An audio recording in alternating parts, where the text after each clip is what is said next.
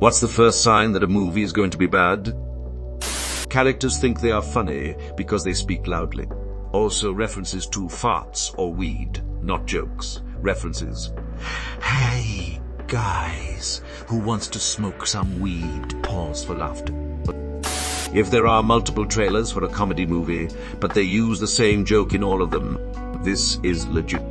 Something that always bugged me was the first Deadpool movie and its trailers. Don't get me wrong. I love the movie, but here you have a character wearing a mask, played by an actor known for comedy, in a movie that probably had a ton of jokes and multiple takes left on the cutting room floor. They could have easily dubbed different jokes into the trailer and used the final ones in the movie for an extra surprise. But nope, trailer jokes, kind of a bummer. You can look at the ad and already tell how the story will start and end. It's a remake of something that didn't suck.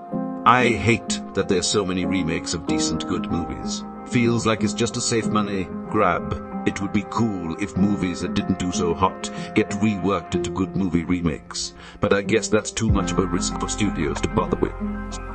Joe So So Movie Reviews, Blogspot, Complovis, Weekly Herald Apsi Morning, News 59, Podon. A non-stop thrill ride definitely exists, Boston Globe. Director's Mother. I once read a book, can't remember the title, cause it was like 20 years ago and I was a kid. On the back, one of the reviews was a fun reader, a Toronto man. Funniest comedy of the year. It's January. A great movie. Directing credit goes to Alan Smithee. He's so talented though. I've seen his name on virtually every genre. You're not actually allowed to use that name anymore because Eric Idle made a movie where he was a director named Alan Smithee who wanted to not be credited for a terrible movie, but the only name he could use was Alan Smithee. I guess it pissed the Directors Guild off that he was mocking the system that way and just said, fine, fuck it. You can't do that anymore. Selling points are focused on celebrity names and visual effects. From the team that brought you Fast Five, and it's the sound guy, best boy, and one the caterers. An exposition in which one character explains everything that's going on to another character that should already know what is going on. Stacy, sweetie, you know I haven't been the same since your brother disappeared four years ago at the creek. And then we moved here to get away from the bad memories, but it didn't change anything. And now you're moving to college. I've been finding it hard to accept. I'm struggling to hold down my job. The diner, that new guy I'm seeing, is acting really shady. Disappears for days, for days. See, completely unrelated to all that there's mysterious murders happening since he arrived in town. You know all this, Stacy whilst unpacking the shopping in the first scene. As you all know. Whoa, whoa, whoa, whoa, whoa. Back up. You're saying that you went to Reddit, saw a thread about identifying signs that a movie will be bad, and then you decided to comment on it? When the trailer already tells you the entire movie. I've scratched titles off my watch list because I feel I've already seen the important parts of the film through the trailer. Why bother? Not always the case, but when there are more than three writers a movie tends to lack vision. It can also occur due to rewrites. Not a Bomb podcast reviews movies that bombed financially or critically, and this is a subject often discussed if anyone is interested. You mean the too many cooks in the kitchen mentality. It's another thing I hate about music albums. Too many writers mean everything is just pumped out to be able to get the songs out as fast as possible and not good or specific to the artist.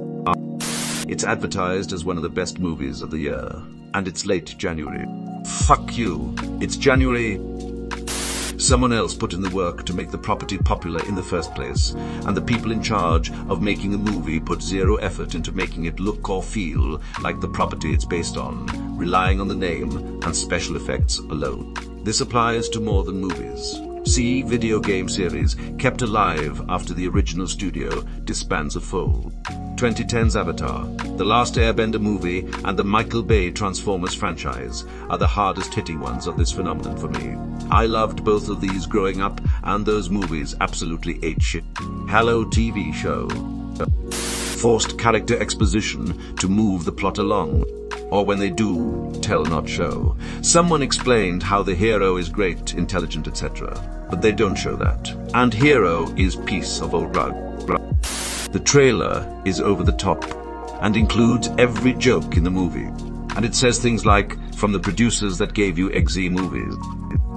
It's been in production for too long. There's always a reason for a recent example. Chaos Walking. It changed screenwriter, director and production company so many times over 10 years, but was sold on it being a Charlie Kaufman movie starring Daisy Ridley and Tom Holland. Kaufman left in 2013. Ridley and Holland filmed it over years due to so many reshoots and failed screenings. Then, Lionsgate said the negative reviews were shocking to them. Really? When I wanna get up to get some snacks five minds into the movie, but don't pause it because I feel like I'm probably not missing out on much. You gotta work on your snack logistics if you're dry after five minutes. It's advertised as sexy. Sex sells, but it's usually a cheap way to get sales. You can tell the acting is awful, even from the trailer.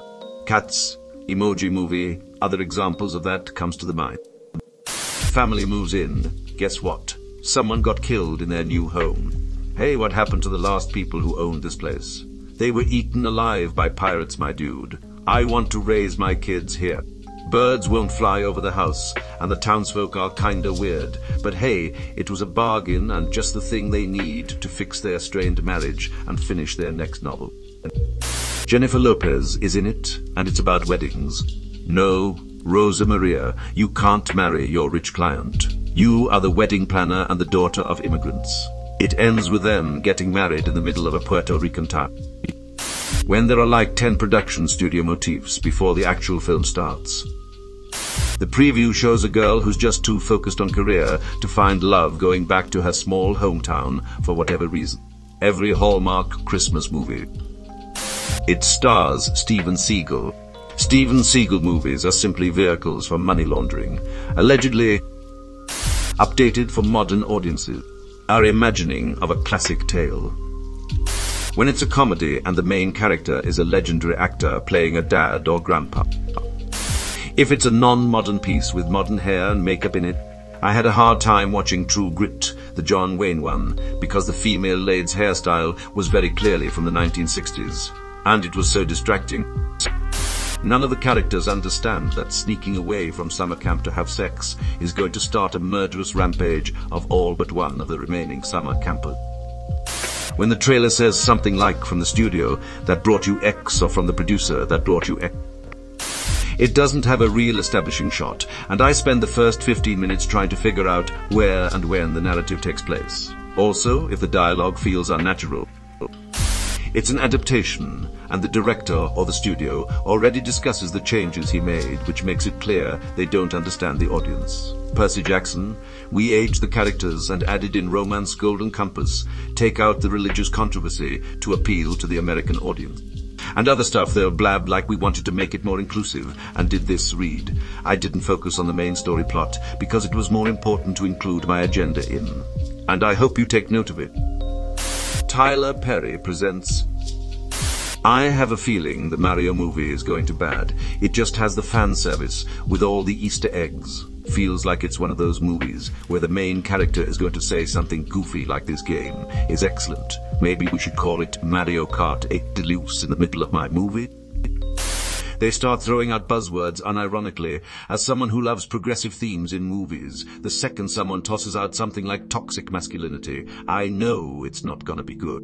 The primary rule in storytelling is show, don't tell, and a lot of movies that want to be progressive and make people think don't think their audience is smart enough to figure out stuff like symbolism and nuance and basic storytelling. So they're gonna smack you over the head with just how progressive they are. A good example of this is comparing the original Black Christmas from the 70s to the most recent remake, ignoring the one with all the eyeballs. The original one was a feminist movie with complex female characters who aren't dying with their tits out. The protagonist has an abortion and is not painted as a bad person for it. All the women in the movie are different and are allowed to be smart, rude, and imperfect. It's feminist because, at the time, this was much rarer in movies, especially the abortion part. Meanwhile, the most recent version of Black Christmas is trying really hard to be feminist, including a character who is a walking Instagram infographic, and while I appreciate the themes they were trying to explore, they spell it all out in the dialogue and don't let the visuals and the symbolism speak for themselves. You can absolutely have great movies with progressive themes. You just have to rest it like any other movie and focus on the storytelling, not proving to the audience that you're up on all the feminist terms. Telder, if a movie wants to explore themes like gender, race, sexuality, etc., and just starts throwing out buzzwords, the movie is gonna be ass because they don't listen to show, don't tell, and focus on making a good movie edit. Requisite thank you for the gold kind stranger. I think this is the first one I've gotten, and I'm very happy it's on this post. Edit 2. I'm seeing a few people misconstrue this as using words like white privilege and having people of color at all, so I want to clarify. The use of the term throwing around is important here. Movies and TV should absolutely discuss topics like white privilege, toxic masculinity, etc., and them using those terms doesn't make them automatically bad. When they start tossing them out without any real purpose other than winning points with the audience or seeming smart or making a very surface level commentary is a bad thing. A show taking the time to discuss white privilege does not mean it's bad. A show having an activist character toss out the term to show they're an activist without actually bothering to talk about the subject is a sign that there's probably not a lot of thought going into it. Updating previous characters to make them black or queer or a woman isn't necessarily a bad thing, but if there's no real thought behind it, and they just want the viewers that having characters like that brings, it's bad. Having characters of color, women, queer people, disabled people, and using words and sentences related to those communities is not a bad thing. Using those terms incorrectly, whether that's poor writing or corporate diversity, is the problem and makes the movies bad. Having black elves or having marginalized characters talk about their experiences is not an indicator that a movie will be bad. The more advertisements you see spanning different media, that's the number one indicator for me.